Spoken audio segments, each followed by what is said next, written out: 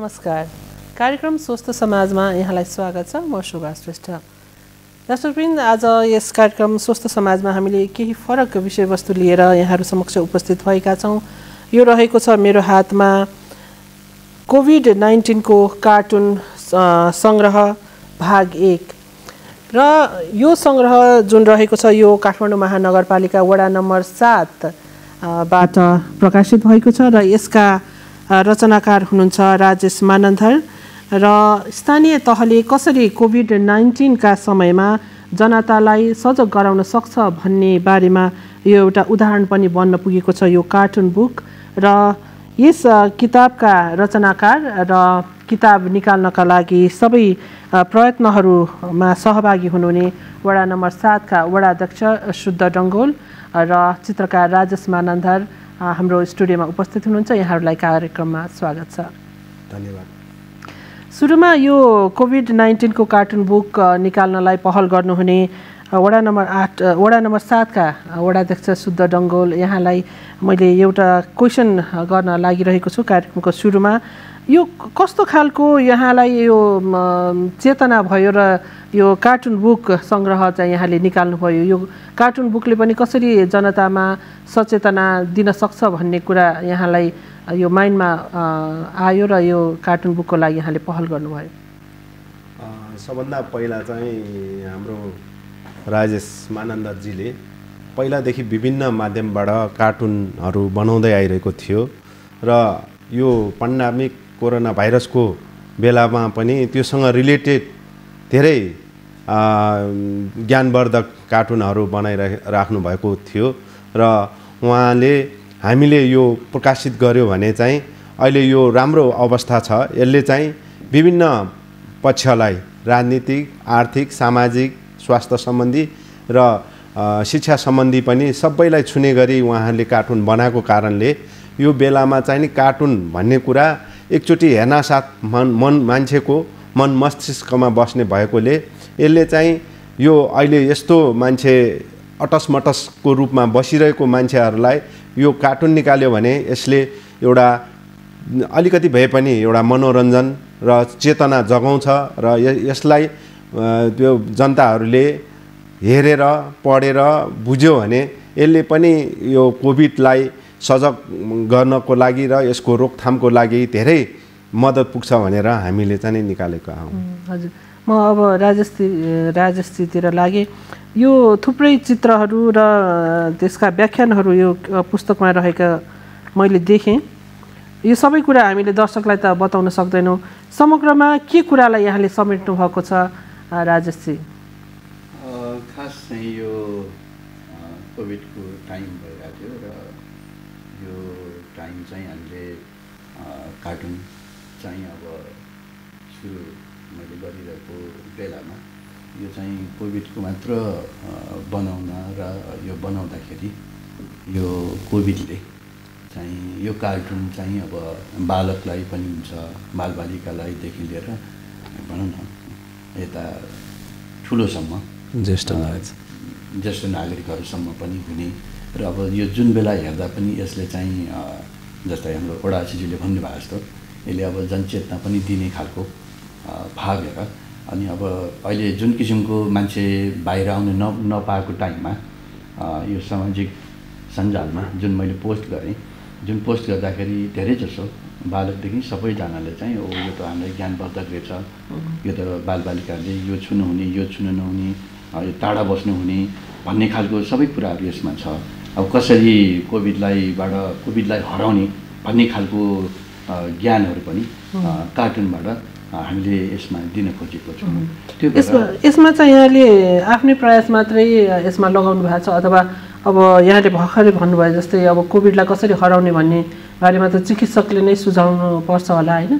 चिकित्सकहरू पनि राय सल्लाह लिनुभयो अथवा आफ्नै मात्रै एकल प्रयासमा यो पुस्तक यसमा धेरै साथीहरूको सहयोग छन्। जस्तै? होइन हाम्रो टिमै छ साथीहरूको होइन। म कार्टुन बनाएर अब कुनै बेला अब यो शब्दहरूलाई मतलब ठिक छ छैन तहाँ हाम्रो सहकर्मी साथी हरिशरण ढुङ्गाज्यूले पनि मलाई सहयोग गर्नुभएको छ। जस्तै अब प्रज्ञा हेम सरले सहयोग गर्नुभएको छ। धेरै साथीहरू हुनुहुन्छ सीता ओझाजी हुनुहुन्छ होइन? हाम्रो वडाकै अब ओडाजीज्यू त अब जहिले पनि रातमा पनि जहिले पनि जुन बेला फोन गर्दा पनि उहाँ उपलब्ध हुने भएर यसमा धेरै साथीहरूको सहयोग र यसमा सामाजिक सञ्जाल हेरिदिने साथीहरूले पनि मलाई चाहिँ यस्तो खालको भए हुन्छ यस्तो बनाउँदा हुन्छ भनेर उहाँहरू पनि सुझाव दिनुहुन्छ। तर विशेष चाहिँ के भने यो कार्टुन हेरेर पनि मान्छेले सजग हुन सक्ने जस्तै अब एउटै कोठामा बसेको छ कोही कता फर्किया छ कोही कता कोही कसरी बसेको छ तर के भने यो कार्टुनले के छ भने सँगै बस्नु हुँदैन। मास्क लाउनुपर्छ सेनिटाइजर बोकेर हिँड्नुपर्छ हात पा मतलब साबुन पानीले हात धोइरहनुपर्छ भन्ने बढी त्यस्तो खालको कार्टुनहरू हामीले बनायौँ।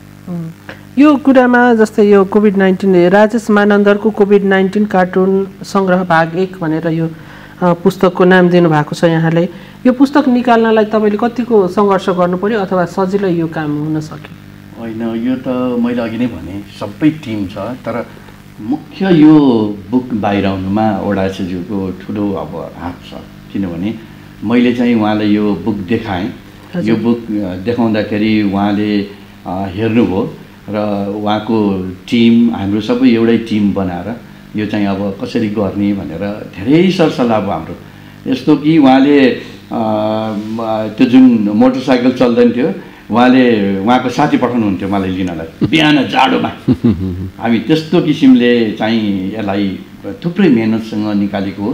तर अब वडा सात एकदमै आभारी छु म वडा सात भनेको काठमाडौँ महानगरपालिका वडा नम्बर सातका परिवार अब। सबैसँग चाहिँ आभारी छौँ किनभने उहाँहरूको यो ठुलो योगदान छ यो बुक मसिन र अब यो बुक पनि अब बजारमा बिस्तारै आउँदैछ र यो बुकको बिक्रीको पैसाले पनि हामी अर्को फेरि कोभिड नपरेकोहरूलाई सहयोग गर्ने भन्ने हाम्रो कुराकानी भएको छ। बडाध्यक्षज्यू यो किताब निकाल्नको लागि यो कार्टुन बुक निकाल्नको लागि यहाँहरूलाई यो आर्थिक सहयोग कसको रह्यो? के कस्तो खालको प्रयासहरू गर्नु पर्यो यहाँहरूले? यो चाहिँ कसो भने अब काठमाडौँ महानगरपालिकाले यो बजेट विनियोजन गरेको हुँदैन। तर अब काठमाडौँ महानगरपालिकाको सात नम्बर वडाले यो कोभिडको यो एकदम राम्रो बुक निकाल्नु पर्छ भन्ने हिसाबले हामीले एउटा चाबेल अर्नामेन्टलाई पनि रिक्वेस्ट गऱ्यौँ। त्यस्तै गरेर हामीले मनासलु कलेज प्र्याक्सिस स्कुललाई पनि हामीले रिक्वेस्ट गऱ्यौँ। र त्यस्तै गरेर मोहन मणि दीक्षि आचार्यलाई पनि हामीले रिक्वेस्ट गरेर उहाँहरूबाट आर्थिक सहयोग लिएर हामीले यो प्रकाशित गरेको हो। भनेपछि व्यक्तिगत तौरबाट सङ्घ संस्थाहरूले पनि यहाँलाई सहयोग गर्नुभयो यसको लागि। हजुर यस्तो खालका किताबले नै मानिसलाई चाहिँ सचेतना जगाउँछ भन्ने कुरामा यहाँले कसरी विश्वस्त गराउन सक्नुहुन्छ? यो कस्तो भने कार्टुन चित्र भनेको कुरा मान्छेको मानस पटलमा एकैचोटि छाप लाग्छ जस्तो मलाई लाग्छ। यो हामी पहिला पहिला पत्रिका पढ्दाखेरि पनि त्यसले चाहिँ एउटा सानो कुनामा दिए पनि त्यसले एउटा सन्देश दिने एउटा मन्त्रको जस्तो काम गर्ने जस्तो मलाई लाग्छ। यसले गर्दाखेरि चाहिँ यो अहिले कोभिड मारामारलाई चाहिँ यसले कसरी हामीले पनि अब स्थानीय सरकार भएको कारणले स्थानीय मान्छेहरूलाई कसरी सोसलाइज गर्ने र नर्मलाइज गर्ने भन्ने हिसाबले लागिरहँदाखेरि यो यो बुकले पनि अलिकति यो समाजमा लान सक्यो र विभिन्न बालबालिकादेखि ज्येष्ठ नागरिकसम्म लान सक्यो भने यसले चाहिँ अझ त्यसलाई चाहिँ नि धेरै सहयोग गर्छ जस्तो मलाई लागेकोले पनि हामीले अघि नै राजेशजीले भन्नुभयो धेरै प्रयासबाट यो अहिले निकालेको छ। यो हालसालै यहाँले यो विमोचन गरिसक्नु भएको छ यो पुस्तकको। यसको प्रतिक्रियाहरू कस्तो आइरहेछ? यसको प्र प्रतिक्रिया धेरै राम्रो आएको छ। यसले चाहिँ कसो भने यो चाहिँ अब कोरोना भाइरसको कारणले हामीले ठुलो रूपमा आयोजना गर्न सकेनौँ। तर त्यो स्वास्थ्य मापदण्डलाई सबै अप्नाएर हामीले गर्दाखेरि सबै मान्छेले यसको धेरै प्रशंसा गरेको छ। र अब यसलाई चाहिँ अब धेरै व्यापक वितरण गर्न सक्यो भने अवश्य पनि यसले चाहिँ एउटा यस्तो महामारीको बेलामा मान्छेलाई एउटा मानसिक हिसाबले पनि मेन्टली हिसाबले पनि यसले यसले चाहिँ काम गर्छ। यो हेर्दाखेरि यसले सबै कुरा यसमा भएको कारणले कोरोना भाइरस भने यस्तो हो यसरी बच्नुपर्छ यसरी हाम्रो जीवनयापन गर्नुपर्छ भन्ने कुरा त्यसमा दिएको कारणले चाहिँ हामीले प्रकाशित गरेका हौँ र अझ यसलाई हामीले इङ्ग्लिस टु नेपालीमा पनि छ त्यो र अझ मिल्छ भने हामी वर्ल्ड वाइडतिर पनि जान सकिन्छ कि हाम्रो नेपालमा पनि कोभिडको बारेमा यस्तो कार्टुन बनेको छ है भनेर देखाउन पनि सकिन्छ कि भन्ने कुरा पनि छ। पक्कै पनि विश्वव्यापी रूपमा पनि यहाँको यो काम सफल रहोस् तर पहिला त स्थानीय स्तरमा यसलाई सफल बनाउनु पर्यो। सर्वसाधारणले चाहेको खण्डमा यो पुस्तक चाहिँ कसरी लिन सक्छ? निशुल्क वितरण गर्नुहुन्छ अथवा बिक्री गर्नुहुन्छ? यो कसो भने अब नि शुल्क दिएको कुरा चाहिँ अलिकति मूल्य मूल्य पनि हुँदैन रहेछ। कतिपय कुराहरू भएकोले हामीले चाहिँ अब यसको नर्मल मूल्य चाहिँ हामीले दुई सय पचास व्यक्तिगत रूपमा लिनेहरूलाई र संस्थागत लिनेहरूलाई पाँच सय रुपियाँ गरेका छौँ र यसलाई हामीले अब बिस्तारै अब स्कुलहरू खुल्यो कलेजहरू खुल्यो भने हामी त्यतातिर लाग्छौँ। राजेशजी अँ, यो पुस्तकमा यहाँले अब अहिले त सुरुमा त यो स्थानीय जनतालाई नै अवेर गराउने खालका कुराहरू समेट्नु भएको जस्तो मलाई लाग्छ होइन? अब वडा जसले भन्नुभयो जस्तै अब अन्य मुलुकमा पनि यसलाई लान खोजेको खण्डमा तपाईँले कसरी यसलाई अझ इन्हान्स गर्नुहुन्छ यो पुस्तकलाई के छ यहाँको योजना? मेरो योजना चाहिँ अब त्यो साउथ कोरियाको मान्छेले यसको ट्रान्सलेसन गर्ने भन्ने कुरा भइरहेछ। अनि चाइनाको एउटाले चाहिँ गर्ने भनिरहेछ। हजुर। तर अब यो त अब हाम्रो वडाज्यू र हाम्रो टिमसँग। सल्लाह यो गर्ने यो यो। भाग एकको अनुवाद त पक्कै पनि विभिन्न देशका नागरिकहरूले होइन उहाँहरूले गर्नुहोला अनुवाद गर्नुहोला। तर भाग एक पछि पक्कै पनि दुई तिन निस्किन्छ भन्ने हामी आशा गर्छौँ होइन।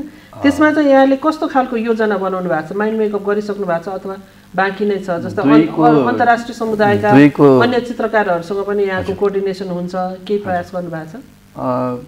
अमेरिकाको एउटा नेपाली डट कम भन्नेले चाहिँ मेरो यो जति पनि कार्टुन यो सोसियल मिडियामा निस्किन्छ त्यसलाई चाहिँ उहाँहरूले ट्रान्सलेट गरेर निकाल्ने गरिरहेछ। उनीहरूले पनि चासो दिइराखेको छ। र अब मुख्य त अब मेन मैले त यो बुकै अब वडा आचार्यले हस्तान्तरण गरेको कुरा हो। किनभने यो वडा नम्बर सातमा यो बुकबाट आम्दानीबाट या यो बुकबाट अवेर होस्। सबैजनाले यो बुक हेरेर यो रोगबाट बच्न सकोस् भन्ने मुख्य हाम्रो उद्देश्य हो। र दोस्रो भाग चाहिँ अब तयारीमा छ। दोस्रो भागको लागि चाहिँ यसमा के कति कमजोरीहरू छ त्यो चाहिँ हामीले सल्लाह गरेर यसलाई यो किताबकै रूपमा मात्रै सर्वसाधारण हेर्न पाउँछन् अथवा यसलाई डिजिटल फर्ममा पनि हेर्न पाइन्छ? फेसबुकमा त सधैँ नै छ होइन। डिजिटल फर्म चाहिँ बनाएको छैन बनाउनु पर्ला। चाहिँ हस् राजेशजी र वडाध्यक्षज्यू द- यहाँहरू दुवैलाई हाम्रो कार्यक्रममा आएर यो कोभिड नाइन्टिन राजेश मानन्दरको कोभिड नाइन्टिन कार्टुन भाग सङ्ग्रह भाग एकका बारेमा हाम्रा दर्शकवृन्दलाई जानकारी गराइदिनु भयो यसका लागि हाम्रो नेपाल टेलिभिजनको तर्फबाट यहाँहरूलाई धेरै धेरै धन्यवाद दिन चाहन्छु। यहाँहरूलाई पनि एनटिभीलाई धेरै धेरै धन्यवाद दिन चाहन्छु। धेरै धेरै धन्यवाद। नमस्कार। दर्शकवृन्द हामीले आज कुराकानी गऱ्यौँ। वडा नम्बर सात काठमाडौँ महानगरपालिका वडा नम्बर सातका वडाध्यक्ष शुद्ध डङ्गोल र चित्रकार राजेश मानन्दरसँग उहाँहरूको प्रयासमा कोभिड नाइन्टिनका बारेमा कार्टुन बुक प्रकाशित भएको छ र यसबाट कोभिड नाइन्टिनबाट कसरी जोगिन सकिन्छ भन्ने खालका जनचेतनामूलक सन्देशहरू कार्टुन मार्फत उहाँहरूले प्रस्तुत गर्नुभएको छ। कार्यक्रमको समय आजलाई यति नै। हवस् त। नमस्कार।